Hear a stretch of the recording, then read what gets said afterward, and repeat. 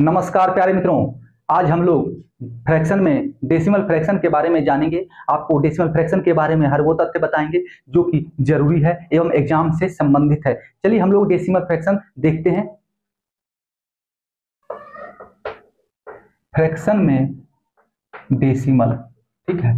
तो फ्रैक्शन का अर्थ हमने आपको बताया है कि खंड होता है। खंड होता है, भिन्न होता है, ठीक है? उसके बाद डेसिमल मतलब दशमलव। यानी कि कोई भी संख्या का पार्ट छोटा छोटा पार्ट दशमलव में हो, दशमलव में हो, उसी को कहते हैं दशमलव भिन्न। ठीक है? जैसे कि एक है। अब एक को कह दीजिए zero point six plus zero point four. देखिए, दो भिन्न है दशमलव में। इसको भिन्न में बदलना है। दो दशमलव में मान है एक के। इसको हमको भिन्न के रूप में, यानी कि पी बाई क्यू देखिए, भिन्न दशमलव भी टुकड़ा है, भिन्न ही है। एक का दो पार्ट है। भिन्न मतलब होता क्या है? खंड होता है। लेकिन भिन्न वास्तविकता में होता क्या है? भिन्न वास्तविकता में पी बाई क्यू होता है। पी बाय क्यू तो इसको पी बाय क्यू के फॉर्मेट में हमें लाना है। तो दशमलव के भी दो दशमलव भिन्न के दो प्रकार होते हैं। आइए हम उसको जानते हैं। क्या क्या है दशमलव भिन्न के दो प्रकार? सबसे पहला टाइप वन है।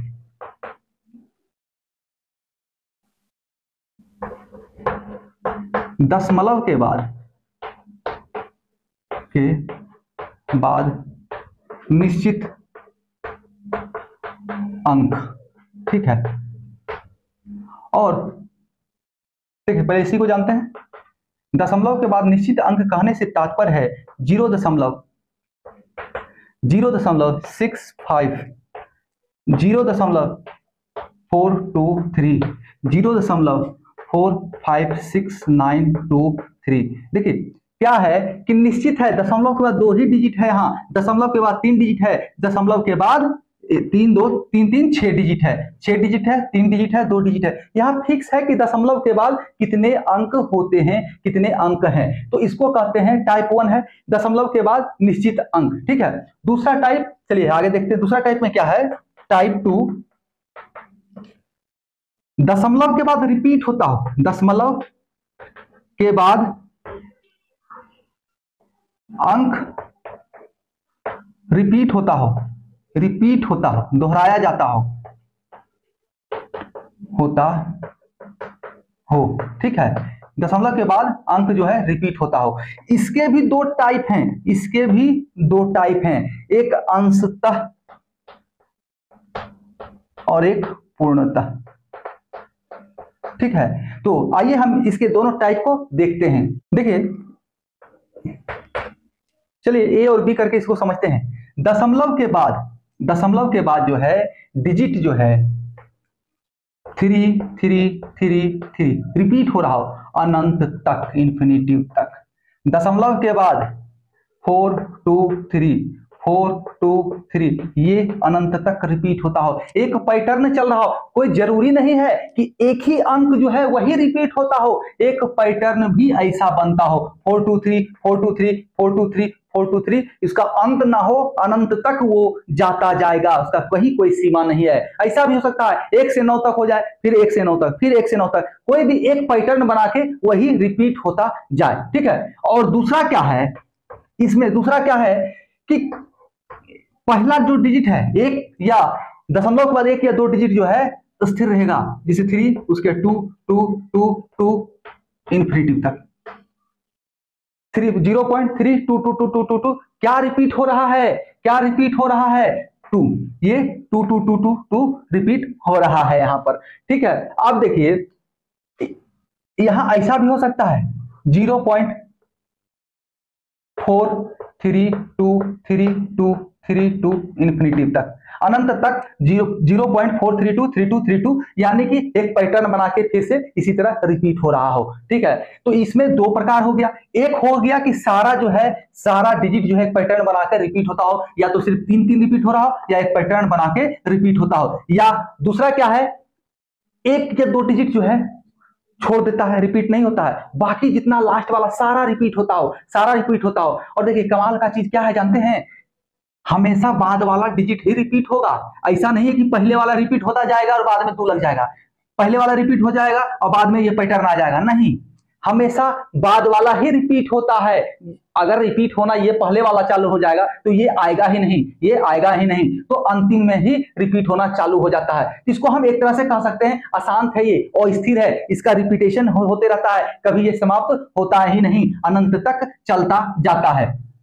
ठीक है? तो हम इसको एग्जाम्पल्स के माध्यम से आपको समझाएँगे कि इसको कैसे हल करते हैं, स्थिर जो होते हैं, निश्चित जो होते हैं, दशमलव के बाद निश्चित डिजिट होते हैं, उसको कैसे हम भिन्न में बदलते हैं और इसको जो रिपीट हो रहे हैं अंक, उसको हम भिन्न में कैसे बदलते हैं, आइए हम आगे एग्जांपल्स के माध्यम से आपको समझाएँगे। देखिए, एक चीज़ और जानिए, जहाँ से रिपीट हो रहा हो ना, जहाँ से रिपीट हो रहा हो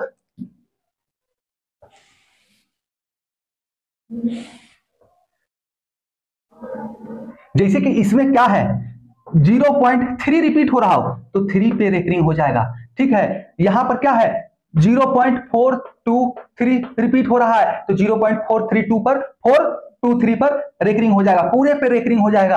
और यहाँ पर सिर्फ़ थ्री रिपीट हो रहा है तो थ्री पे रेकरिंग हो जाएगा। उसके बाद यहाँ देखिए, ये क्या है? Zero point three two two तो टू रिपीट हो रहा है तो थ्री को छोड़कर जो रिपीट नहीं हो रहा है, जो अंक रिपीट नहीं हो रहा है, उस पर डाइस नहीं होगा। रेकरिंग का अर्थ क्या हो गया? वो दोहराता चला जाए रिपीट होता चला जाए। इसको रेकरिंग कहते हैं, या तो आप कह सकते हैं डाइस या डॉट जो कहना है, वो कह सकते हैं आप।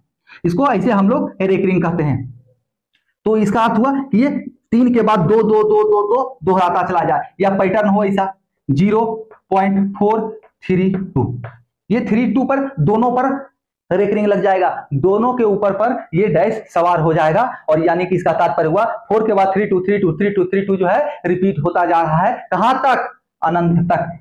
अनंत तक। इसका कोई सीमा नहीं है। इसका कोई सीमा नहीं है। इसको शॉर्ट फॉर्म में लिखने के लिए केवल इसके ऊपर डैश लगा दिया जाता है। चलिए एग्जांपल्स के माध्यम में अब हम लोग समझ, माध्यम से हम लोग समझते हैं कि इसको कैसे भिन्न के रूप में पी बाय क्यू के रूप में कैसे हम लोग लिख सकते हैं। पी बाय क्यू के रूप में। ठीक है? चलिए देखते हैं। चलिए, कुछ एग्ज़ाम्पल सब हम लोग लेते हैं सॉल्व करने के लिए, ठीक है ना? क्या है? सबसे पहला देखिए, ज़ीरो दशमलव चार पाँच। क्या करना है? हमने क्या बताया है? दशमलव को भिन्न के रूप में बदलना है। दशमलव को भिन्न के रूप में हमें बदलना है। तो करना क्या होगा? ज़ीरो दशमलव चार पाँच है। इसको हमें भिन्न बदलना है। तो दशमलव के बाद निश्चित डिजिट तक अंक है, निश्चित डिजिट है। दशमलव के बाद यहाँ पर दो डिजिट है। तीन डिजिट हो सकता था, चार डिजिट जिसका सीमा हो। तो इसको हमको बदलने के लिए बहुत ही आसान है, कोई दिक्कत नहीं। इस पॉइंट को हटा देते हैं। उसके बाद जितना भी दशमलव के बाद स्थान है, एक स्थान, दो स्थान तो एक पर उतना ज़ीरो। एक पर उतना ज़ीरो। ऐसे समझिए, दशमलव हटाए, एक रख दिए। उसके जितना स्थान है इधर, जितना अंक है, उतना ज़ीरो आप बैठा दीजिए। ठीक है? आप इसको हल कीजिए। और नवा पैतालीस, बीस बचे सौ, नौ बटा बीस। और एग्ज़ाम्पल लेते हैं। ठीक है? देखिए, दशमलव हटाए, एक रख दीजिए। एक, दो, तीन।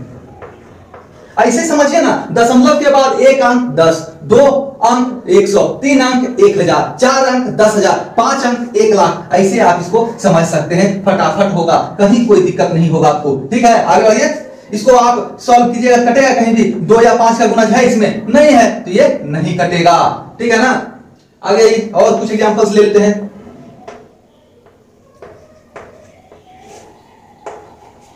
देखिए, इसको सॉल्व करेंगे हम। दशमलव उड़ाए चार ज़ीरो है। चार अंक है ना? तो दस हज़ार। चार ज़ीरो। चार ज़ीरो, दस हज़ार। काट दीजिए। दो से तो लगता है कट रहा है। ये भी दो से कटेगा। इसको शॉर्टेज फॉर्म में जब तक कटता है, तब तक काटते जाइए। ठीक है? Seven point six five seven point six five इसको हमको सॉल्व करना है। एक के पर दो सुनना, दो दशमलव, यानी कि एक सौ। इसको काट दीजिए, ये पाँच से लगता है, कटेगा, ये भी पाँच से कटेगा। काट दीजिए इसको भी पाँच से। कहीं कोई दिक्कत नहीं होना चाहिए, ठीक है? देखिए, जहाँ समस्या है, अब हम लोग वहाँ आते हैं। समस्या है, निरंतर चलता जाए दशमलव के बाद अंक, उसका कोई सीमा नहीं हो। तो वैसे को हम लोग, चलिए इसको मिटा देते हैं पहले। रिपीटेड वाला बोले थे रिपीटेड रिपीटेड डेसिमल दशमलव के बाद अंक अनिश्चित हो, अंक अनिश्चित हो। तो देखिए, अनिश्चित जहाँ अंक आ जाता है, उसको हम लोग रेकरिंग से शो करते हैं। या वहाँ से, जहाँ से रिपीट हो रहा हो, उसके मध्य पर एक बिंदु, एक डॉट छोड़ देते हैं, जिसका तात्पर्य है, ये डिजिट यानी यहाँ से ये क्रम दोहराया जाएगा, और कब तक उसकी कोई सीमा नहीं है, अनंत तक। ठीक है? तो लीजिए, सबसे पहले इसको लेते हैं। Zero point three three three three three three इसको हम क्या लिख सकते हैं? इसको हम क्या लिख सकते हैं? ज़ीरो पॉइंट थ्री पे रेकरिंग या तो फिर ये डॉट आप कुछ भी लिख सकते हैं। या तो रेकरिंग दे दीजिए, एक डाइस दे दीजिए, या एक डॉट दे दीजिए। कुछ भी दे सकते हैं। तो चलिए एग्ज़ाम्स में आपको अक्सर रेकरिंग ही मिलेगा। ये डिजिट ही डॉट क्या कहते हैं इसको? डाइस ही मिलेगा। ठीक है ना? डाइस ही मिलेगा। एग्ज़ाम में हमेशा आपको ये डाइस ही मिलेगा। तो देखिए इसको हमको भिन्न के रूप में लाना है। भिन्न के रूप में लाना है। तो भिन्न के रूप में ऐसे ऐसे ऐसे भिन्न, दशमलव के डिजिट्स को लाने के लिए भिन्न के रूप में क्या करना है? दशमलव के बाद जो अंक है, उसको रख लेना है तीन। जो भी संख्या हो दशमलव के बाद, उसे रखना है। उसका बटा में एक है, एक ही अंक रिपीट हो रहा है तो बटा में नौ। बटा में नौ। एक ही अंक रिपीट हो रहा है ना, इसलिए बटा में नौ। काट लीजिए। एक और तीन। अगर यही होता। ज़ीरो दशमलव three four. Three four three four. यानी कि यही चीज़ रिपीट हो रहा है। यही चीज़ रिपीट हो रहा है। इसका कोई सीमा नहीं है। तो इसको कैसे हम लोग, क्या लिखते हैं इसको? इसको हम लोग लिख लेते हैं ज़ीरो दशमलव तीन, चार और रेकरिंग दोनों पे दोनों पे देना है, क्योंकि दोनों अंक जो है रिपीट हो रहा है। दोनों अंक रिपीट हो रहा है तो इसको हम लोग भिन्न के रूप में कैसे बदलेंगे? थ्री फोर जो यहाँ पर दशमलव के बाद संख्या है, उसे हमने रख लिया।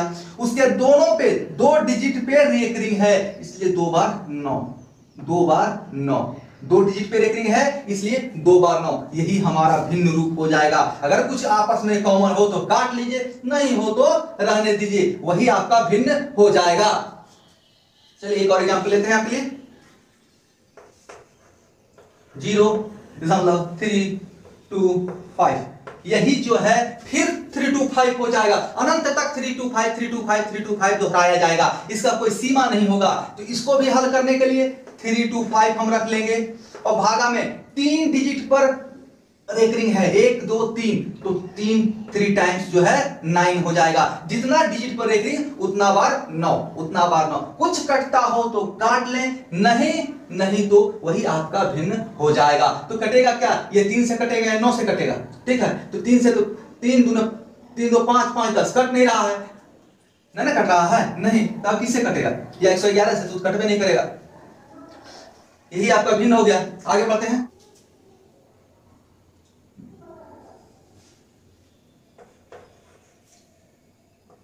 Three point three two three two three two, यानी कि अनंत तक चल रहा है क्रिया। तो करना क्या है हमें थ्री, तीन हो गया।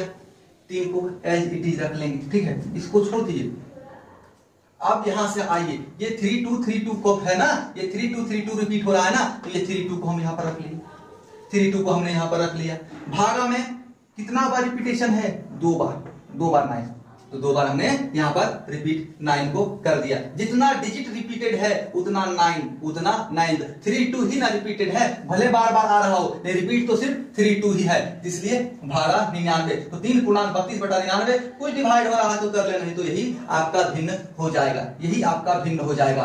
तो आपको यहाँ तक कोई कंफ्यूजन नहीं हुआ होगा, कोई प्रॉब्लम हुआ हो कमेंट करें। ठीक है? आगे बढ़ते हैं। अब आती है बारी। इसका मतलब तो आपने समझ गया होगा। दो दो दो दो दो, तीन के बाद तीन से रिपीट नहीं होगा, दो दो दो दो दो रिपीट होता जाएगा। दो दो दो रिपीट होता जाएगा। तो इसको हम कैसे हल करेंगे? इसको हम कैसे हल करेंगे? तो देखिए थ्री टू को तो एच टी रख देना है। अब किस डिजिट पर रिपीटेशन नहीं है?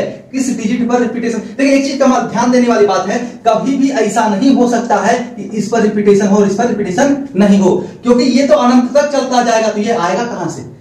इसके बाद ये है ये आएगा कहाँ से? यही तो चलता जा रहा है ना? इसीलिए हमेशा ये आ सकता है, उसके बाद ये रिपीट हो सकता है। लेकिन कभी ऐसा नहीं हो सकता है कि ये रिपीट हो और ये बाद में आए। रिपीट हमेशा अंतिम से ही होगा, अंतिम वाला होगा। ठीक है? अगर छोड़ना है तो दशमलव के जस्ट बाद वाला आप रिपीटेशन को छोड़ा जा सकता है। मतलब कि भाग में वैसा प्राप्त हो सकता है। भाग देने पर ऐसा प्राप्त हो सकता है कि दशमलव के बाद एक अंक, दो अंक हो रिपीट नहीं हो। लेकिन रिपीटेशन जो होगा, बाद वाला ही होगा। पहले वाला रिपीट नहीं होगा और बाद में एक आ जाए। वैसा नहीं होगा। रिपीटेशन हमेशा बाद वाला ही होता है। या तो फिर सारा का सारा हो जाए। पहले वाला रिपीट नहीं होगा सिर्फ़।